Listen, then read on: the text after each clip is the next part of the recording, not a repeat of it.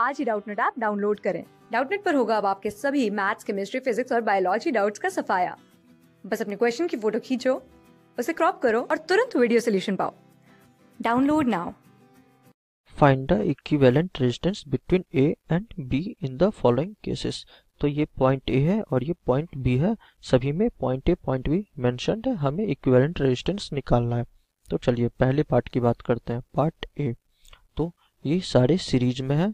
तो R A B resistance across A B is equal to हो गई R plus two R plus three R और ये up to hundred are तो अब क्या करते हैं? आर कॉमन ले लेते हैं। आर कॉमन लेने के बाद बचेगा one plus two plus three plus up to hundred तो ये हो गया आर इंटू वन से लेकर हंड्रेड तक का सम क्या होता है? Hundred into hundred plus one upon ये बेसिकली एक फॉर्मूला होता है, यहाँ लिख देता हूँ सम इज़ इक्वल टू होता है N into N plus one by two ये होता है समेशन वन टू एन तो ये फॉर्मूला होता है, मैंने N into N plus one by two ही लगाया है। तो ये हो गया मेरा, इसे जब सॉल्व करेंगे तो ये बन जाएगा five zero five zero R तो ये मेरी हो गई आर इक्विवेलेंट की वैल्यू तो ये पार्ट ए का हो गया आंसर अब पार्ट बी में आते हैं। तो पार्ट बी में देखिए पार्ट बी में जो है, ये इन्फिनिटी तक जा रहा है। तो अप टू इन्फिनिटी ये जा रहा है। तो हम जब इसे, मान लीजिए आर ए बी ये आर नॉट हो गया मतलब यहाँ से आर नॉट हमें दिख रहा है। ये मेरी आर नॉट हो गई। तो हम क्या देख सकते हैं कि ये जो पैटर्न है आर टू आर का, ये रिपीट कर रहा है। ये बार बार रिपीट हो रहा है। तो ये आर टू आर का पैटर्न जो है रिपीट हो रहा है।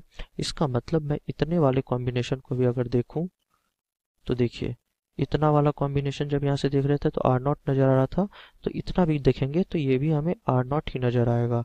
इसका मतलब मैं अगर इसकी डायग्राम बनाऊँ तो ये आर है, ये पैरेलल में टू आर है तो इसका मतलब इसके पैरेलल में जो है, ये आर नॉट ही नज़र आएगा। ये आर नॉट जो हमारे यहाँ आर नॉट हमें यहाँ नज़र आ रहा है, वही आर नॉट यहाँ पर मतलब ये पैटर्न एक दूसरे को रिपीट कर रहा है। तो यानी इसका मतलब हो गया आर नॉट इस वाले की आर नॉट कर रहा हूँ आर नॉट की बात कर रहा हूँ तो R naught is equal to हो गया ये वाला आर प्लस सीरीज़ में क्या आएगा? इन दोनों का parallel combination that is two R into R naught upon two R plus R naught ये हो गया। तो अब इसे बस हमें सॉल्व करना है। तो सॉल्व करते हैं। तो ये हो गया आर नॉट माइनस आर मैंने इस आर को अंदर ले लिया। R naught minus R into two R plus R naught ये, इसे मैं मल्टीप्लाई कर दिया. Is equal to two into R into R naught ये मेरी हो गई. अब इसे मैं एक्सपेंड कर देता हूँ. तो एक्सपेंड करने के बाद मैं सारे टर्म्स को एक तरफ़ ले लेता हूँ. ये मेरा हो गया plus R naught square minus again R R naught is equal to two R R naught तो ये मैंने तो सिंपली एक्सपेंड कर दिया। अब एक तरफ़ ले लेते हैं आर नॉट स्क्वायर के टर्म में, इसे क्वाड्रेटिक बना देते हैं। तो माइनस आर आर नॉट ये मेरा minus two R square is equal to zero. तो हमें आर नॉट की वैल्यू निकालनी थी, जो हमने इक्विवेलेंट माना था। तो R naught is equal to हो गया।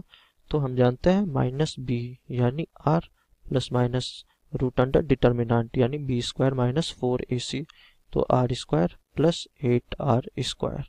Upon twice of A तो ये वन है तो टू इंटू वन तो इसे हम लिख सकते हैं आर प्लस माइनस तो अंडर रूट से बाहर निकाला तो ये हो गया मेरा थ्री आर अपॉन टू यानी इसकी दो वैल्यूज़ पॉसिबल है एक माइनस आर और दूसरी टू आर अब देखिए रेजिस्टेंस जो है कभी भी नेगेटिव नहीं हो सकती है. सो so, मेरी resistance across A B is equal to हो गई टू आर क्योंकि माइनस है ये तो ये डिस्कार्ड हो गया वैल्यू तो resistance across A B two R आ गया. तो बी पार्ट का आंसर हो गया टू आर अब सी पार्ट देखते हैं. तो सी पार्ट में ये नेटवर्क दे रखा है और ए और बी जो है यहाँ बिल्कुल इन्फिनिटी पर है. अब देखिए, अगर हम इस पूरे डायग्राम को अच्छे से देखें तो हमें दिखेगा कि ये आर फिर आर प्लस आर फिर फोर रेजिस्टेंस एट रेजिस्टेंस मतलब पहले एक था, अब दो हुए, चार, आठ. इस पैटर्न में ये बढ़ रहा है. तो अगर मैं सी वाले की इक्विवेलेंट डायग्राम बनाऊँ तो ये लीजिए, सबसे पहले तो आर था, बाद में क्या हुआ? बाद में दो था तो टू आर हो गया, क्योंकि सीरीज़ में था ना R plus R two R हो गया। अब देखिए, अगर चार है तो ये क्या हो गया? ये हो गया फोर आर अब देखिए, अब आठ है, इसका मतलब ये क्या हो गया? ये हो गया एट आर एट आर और ये कंटिन्यूसली इंक्रीज करते जा रहा है। तो मान लीजिए, ये मैंने यहाँ पर इंक्रीज कर दिया। तो ये मेरी पॉइंट ए है और ये मेरी पॉइंट बी है। तो हमें आर इक्विवेलेंट चाहिए तो इसका मतलब हो गया one upon R A B one upon R A B is equal to हो जाएगा। पैरेलल में तो one upon R plus one upon two R plus one upon four R और ये चलता जाएगा इन्फिनिटी तक। तो यहाँ से हम क्या करेंगे? वन अपॉन आर कॉमन ले लेंगे।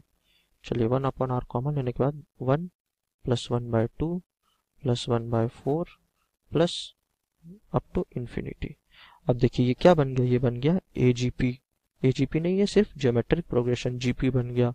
जोमेट्रिक प्रोग्रेशन तो one upon R equivalent is equal to one upon R.